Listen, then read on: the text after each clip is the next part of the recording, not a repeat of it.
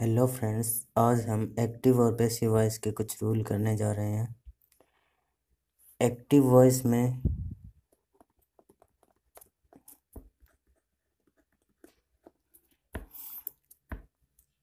Basic जो होता है, वो subject plus verb plus object होता है।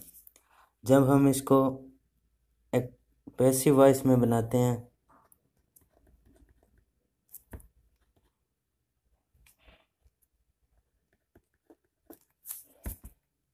तो क्या होता है? जो ऑब्जेक्ट है, वो सब्जेक्ट बन जाता है। और जो सब्जेक्ट है, वो ऑब्जेक्ट बन जाता है। और वर्ब है, वो भी की थर्ड फॉर्म बन जाती है। जब हमारे पास रूल जो फ़र्स्ट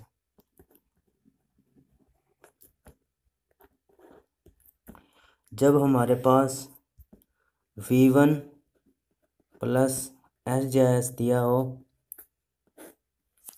तो सब्जेक्ट से पहले इज़ एम आर का प्रयोग करेंगे, करते हैं। जैसे ही राइट्स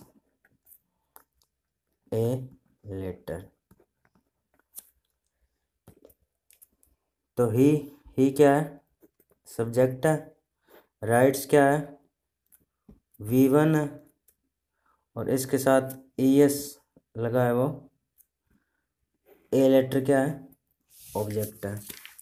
ये जो हमारा एक्टिव वॉइस है।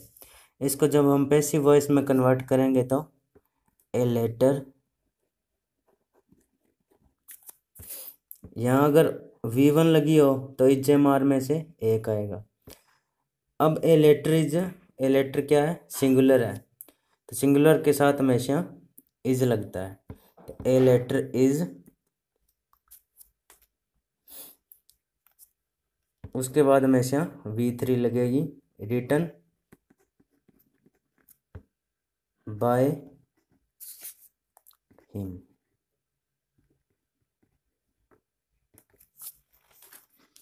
तो ये हमारा एक्टिव वॉइस है। और ये हमारा passive voice rule second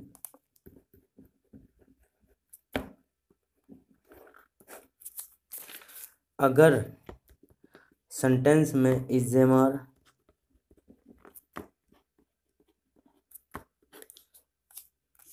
was were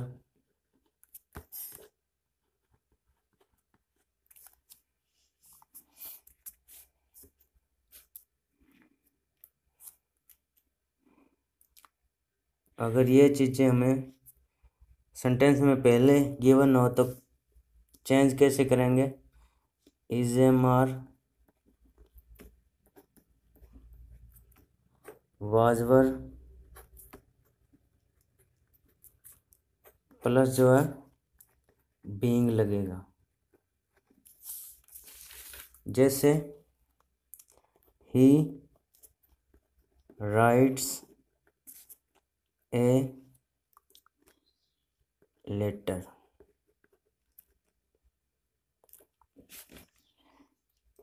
ये तो सिंपल है। जैसे हमें इज़ एम आर पहले गिवन हो, जैसे ही इज़ राइटिंग ए लेटर। तो ए लेटर क्या है? आगे आ जाएगा।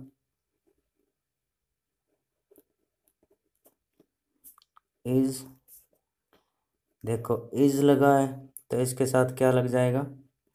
बींग थर्ड फॉर्म क्या है? रिटर्न बाय ही है जो इसका हिम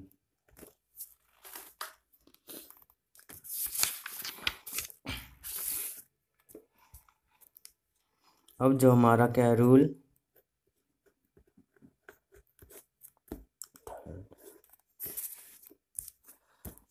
अगर हमें सेंटेंस में हैज़ हैव हैड दिया हो तो उसके बाद क्या लगाना है? Has have had plus been जैसे ही हैज़ रिटन ए लेटर तो इसका कैसे बनेगा? A letter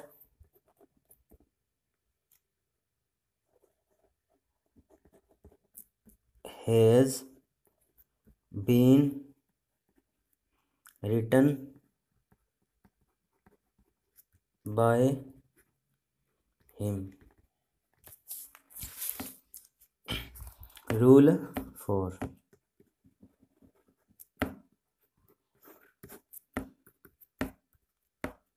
अगर हमें will shall can could may might, would,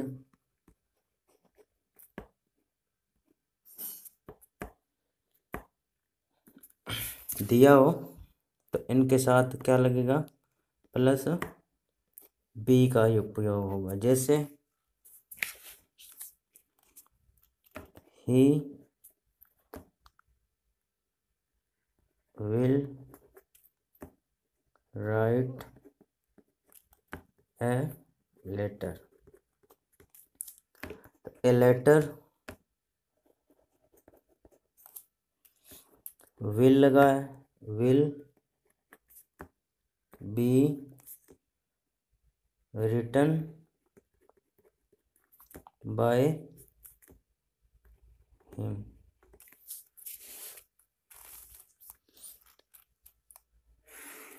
हमने सब्जेक्ट को चेंज कैसे करना होता है? जैसे ही का हिम आई का मी यू यू दे का देम शी का हर